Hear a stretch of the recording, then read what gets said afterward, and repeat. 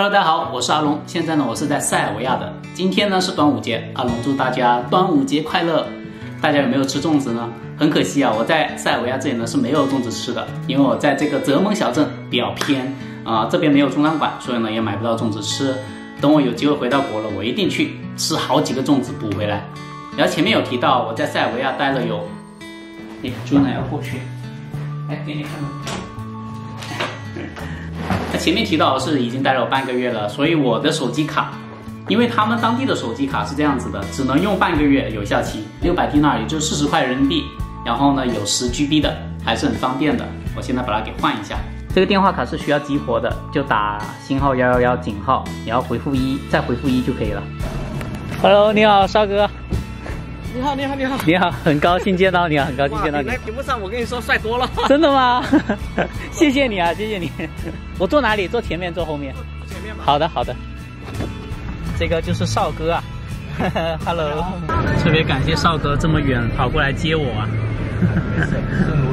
端午节快乐，忘记说了。对啊，我今天我后来我想起来，哎，今天端午节。对。人在异国他乡。过节见到中国人也是特别的开心。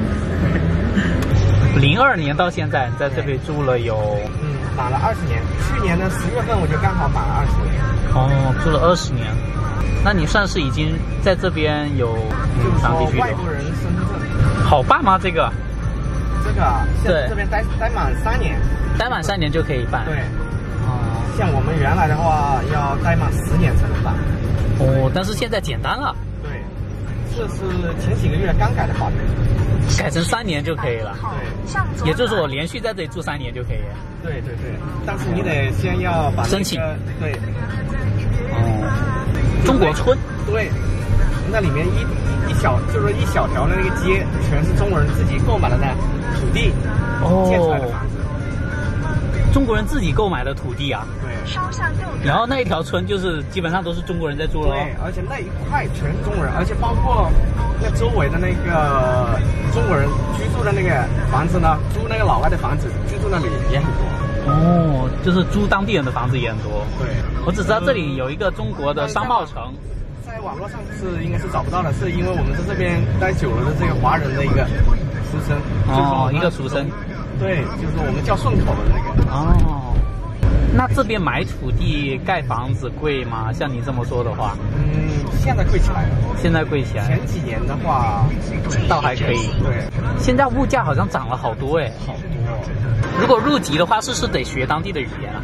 对，会一部分的语言，就是最起码的基本交流吧。为什么这边基本上都是二手车呀？基本上都是从那个欧洲流进来的。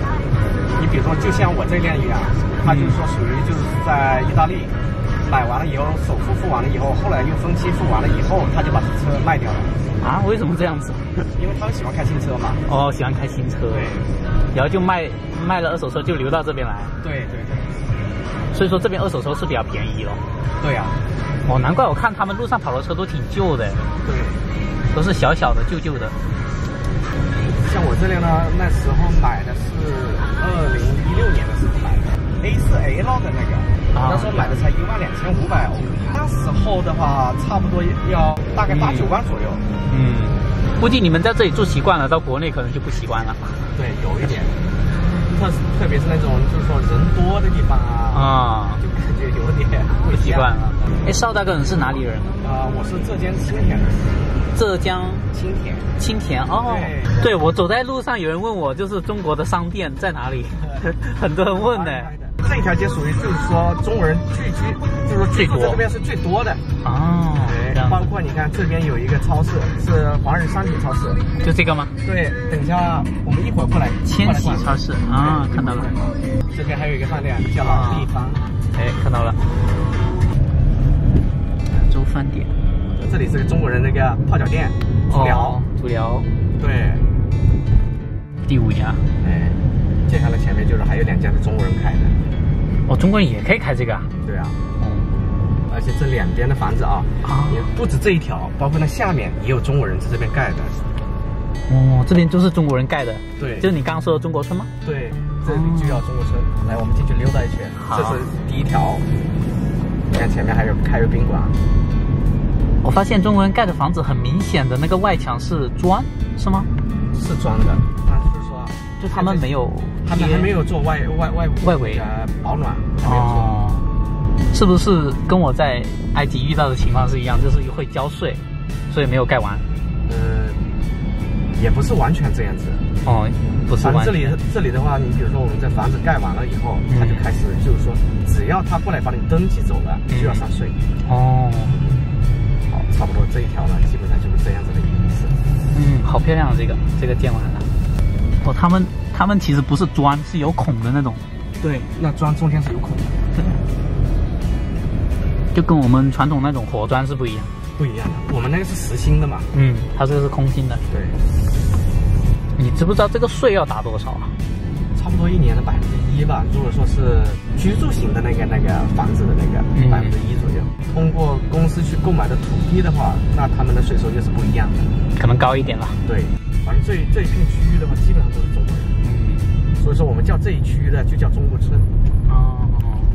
其实也就这两天开始热。前面几天还挺挺凉爽的，老实说。今年的天气啊，还很奇怪的。我来了之后，我来了这么多年啊，没有见过下这么多天的雨。没有吗？没有。我以为我这是很正常，因为我来了之后下了好多天雨了。哎，这样子的没有过。这是也是没有见完吧？我看窗都没有。没有见完。嗯。但是已经可以住了里面。已经可以住人了。对。我们现在来到塞尔维亚当地的一个特色餐馆，来这边尝尝特色的塞尔维亚菜。猪肉，猪肉大 yes。牛肉，有不？牛肉错了，这个没有，这个没有啊，这个也有。他懂中文嘞。像他这个炭焖牛肉，四千迪纳尔一公斤，还有烤乳猪呢，两千四百迪纳尔一公斤，都是按公斤算的吧？这个。对。嗯，还有烧烤，都标有中文。先上一笼面包。然后扎啤，谢谢谢谢赵大哥，小五小五，我我想问了，就是有每天是不是可以三个月都有？对，可以在这边待三个月。哦，这个是什么汤？呃，小牛肉汤。哦，小牛肉汤。嗯，对，好喝，这个好喝，很浓郁的那个牛肉味。分老牛跟嫩牛。对，一个是小牛，就是因为肉比较嫩。对，所以比较贵。这边的沙拉会放很多奶酪。就没想到当地还能还会有这个烤乳猪啊，就是他们当地的餐馆。平常基本上每个饭店里面都有的。哦，每个饭店都有。对。嗯。但是像这种烤的呢，这家店里算不错。算是不错的。那咱们就来尝一下烤乳猪。试一下。这烤乳猪那个皮烤的很脆啊。嗯。不是，应该可以哈。对，挺松软的，就吃进去。这个猪肉真的很香，很好吃，软软绵绵的，而且它很香，就烤的很香。他们这个猪不是特别大，嗯，差不多大概就是说生下来大概有个两三个月。就它的肉质烤的算是比较软的。这盘是牛肉，哇。所有的肉都很大块，对，就是大口吃肉，大口喝酒，三三三万多了，最贵的，那就三万多了，是不是？接近人民币的话，对，最贵的，哦，最贵的。像中国人如果在这里买房的话，一般是因为什么？因为教育。想移民，为了方便哦，就是为了方便。对，因为你打个比方说，你说租别人的仓库或者租别人的住房，一般来说十年的租金下来也差不多。你住的那个房子就等于是属于你的哦，就可以买下来了。对，两千迪纳尔这盘牛肉一公斤吗？呃，半公斤。半公斤。烤乳猪呢？啊，是一公斤两千四迪纳。两千四迪纳尔一公斤。对对对，两千。这算是中等消费吗？对，嗯，比如说刚刚我们喝的那个牛肉汤，牛肉汤，啊，两百九十丁纳，两百九十丁纳。像这个啤酒的话，差不多两百三丁纳一杯。这个是五百毫升吧？还是还是六百？哦，五百的。好，那么我们就吃完了当地的塞尔维亚的美食了，确实是硬菜啊，两道硬菜，真的是硬生生把我给塞满了肚子。不过确实很美味，尤其是那个烤乳猪，我觉得很好吃。但是真的是太硬了，没有啃下几块就已经饱了。感谢少哥的招待啊！现在来到好又多超市，看看当地的华人超市。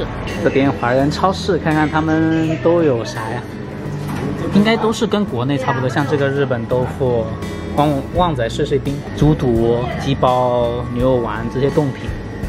六个核桃一瓶是一百八十迪纳尔，茉莉蜜茶是两百迪纳尔，旺仔牛奶是两百八十迪纳尔，接近十八块钱。哇塞，国内的三倍多，反正平时吃不到的，在这边都有的买。老坛酸菜牛肉面一包是十多块，十多块人民币。来，东西来到这边都变得贵好多了。哇，这个海蜇都有啊，这个我都没吃过。还有醉泥螺、醉辣螺。他们教育是免费到什么时候？到高中吧。高中。大学学费也很低的。哦，大学学费也很低。医疗就是全民都免费。对。